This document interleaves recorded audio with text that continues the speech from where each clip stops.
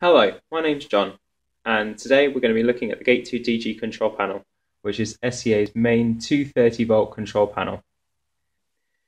This is the first in a series of tutorial videos for the Gate2DG, and today we'll be looking at a basic overview of the control panel. Our basic overview is going to look at the digital screen and help you understand what the dashes mean and how to troubleshoot the control panel quickly Let's take a closer look at the digital display. On the top row, from left to right, you have start, pedestrian start, and the stop dash. On the middle row, you have four dashes. These are your limit switches. If you're not using a limit switch system, these dashes will not be displayed.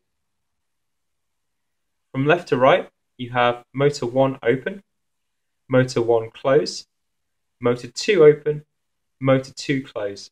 When the gates are in the middle of travel, you'll see all four dashes on. The limit switches are normally closed circuits. When the gate gets open or closed, the dash will go off. Let's simulate that now.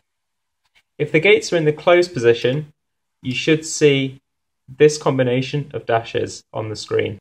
This is showing that the dash for motor 1 open is on, but the dash for motor 1 close is off, signifying that the gate is in the closed position, and the same for motor 2.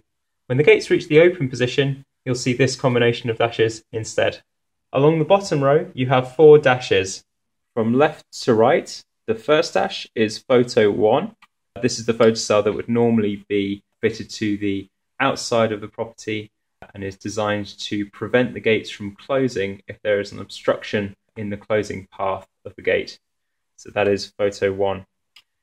Photo two is the second dash along, and this is used to pause the opening motion of the gate, but it can also be used to stop the closing motion as well. The third dash along is the first safety edge contact.